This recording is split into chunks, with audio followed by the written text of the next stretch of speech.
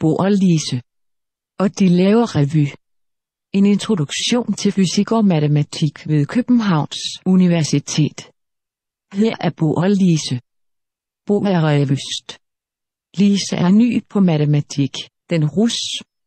Bo og Lise skal skrive sketch.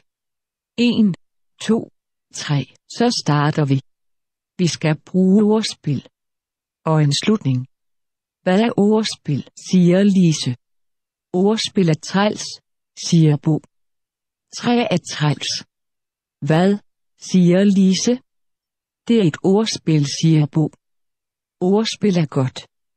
Godt med ordspil, siger William. Nu har vi en sketch.